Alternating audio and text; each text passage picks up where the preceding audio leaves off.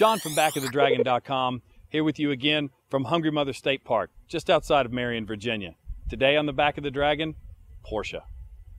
Porsche, the pinnacle of performance, luxury, and quality. But Porsche is also famous for one more thing value, investment value, and resale value. Why not show off your investment skills? You could drive your own new Porsche Boxster today for only 599 a month, or the exciting new Porsche Cayman starting at only 49,900. Call 423-224-2100 or get to 861 Eastone Drive, Kingsport. Rick Hill Imports. Go ahead, you deserve it. Beginning in 1948, Ferdinand Porsche set out to develop the absolute best sports car. Iconic names like the 356, the 550 Spider, the 928, and of course, the iconic 911. In 2005, though, they set out on a different path, something that was perhaps a throwback to earlier Porsches, the mid-engine car. What did they have to take? They used the Boxster. Brought about in the late 1980s, the Boxster was a huge success. They wanted to put a top on it. They certainly did, and did a great job. The Porsche Cayman is one of the well, most well-balanced sports cars on the market today. Equipped with either the 2.9 liter flat six producing 265 horsepower or the 3.4 liter in the Cayman S producing 320. Sub five seconds, zero to 60 times are very common but really, that's not what the car is about. What's the car about?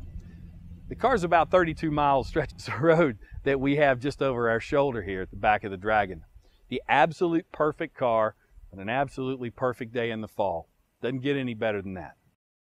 Joining us today is Jerry Godsey, sales professional from Rick Hill Imports in Kingsport, Tennessee. Jerry, thanks so much for joining us today. Thank you, John, for having me. That's great. Uh, the very envi- uh, enviable task that you have of living with these cars and affording people the uh, the opportunity to, to own them. Yes, very rewarding profession. Uh, John, like I said, I've enjoyed the cars for years, and uh, it's great to be able to come out on a day like this and uh, drive the cars on the back of the Dragon.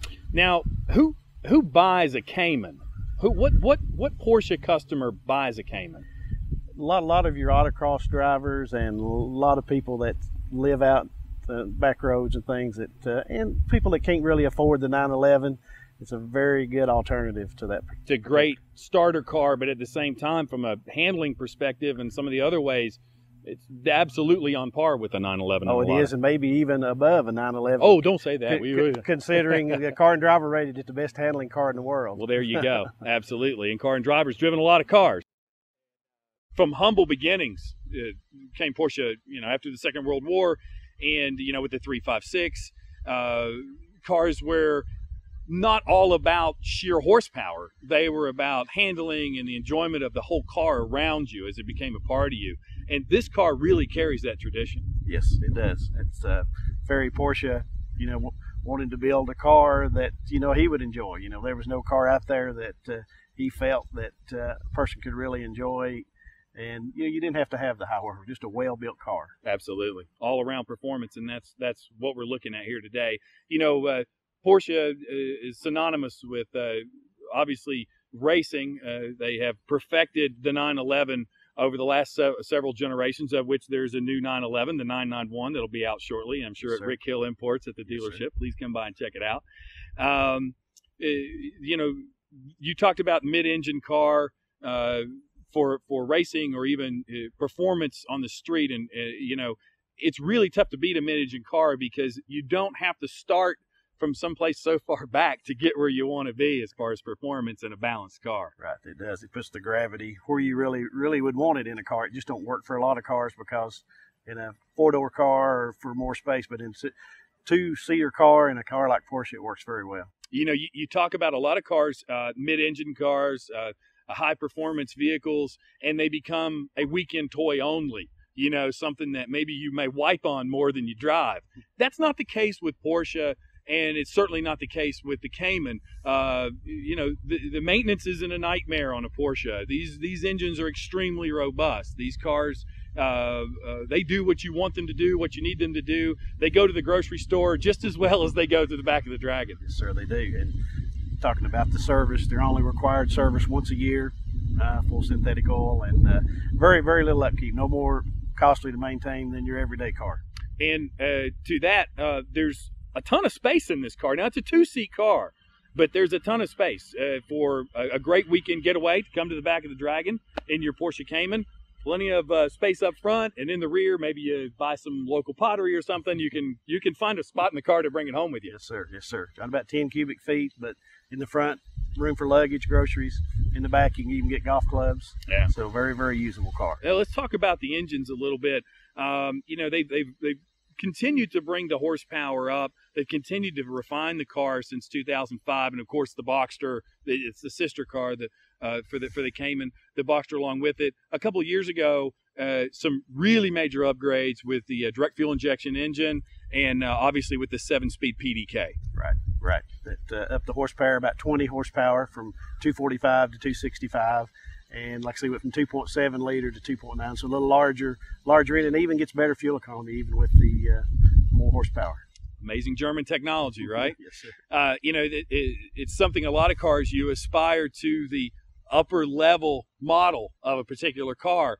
The Cayman's a little different, and a lot of times Porsche's a little different in that. Sometimes I don't want to say less is more, but maybe without all the bells and whistles, maybe without all the gadgetry, maybe just the pure car itself, maybe the best Porsche experience. Yes, sir. Yes, sir. And definitely less expensive, but uh, every bit as fun as the more expensive Porsches too. Absolutely.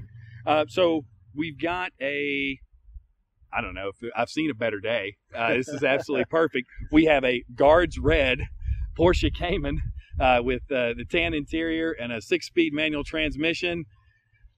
Now I think all we need is a driver. Yes, sir. Ah, hmm, what are we going to do for a driver? I think I have someone that you guys have seen before. Uh, come on in. Our friends, uh, the park rangers. Uh, Jeff Hall is back with us. Uh, Ranger Hall. You ever driven a Porsche before? Never have. So you've never driven a Cayman? Then there you go. Excellent. That's perfect. Uh, Jerry is is salivating. He's he's trying to make sure. He's trying to see how much salary you earn a year. He's pre-qualifying you now.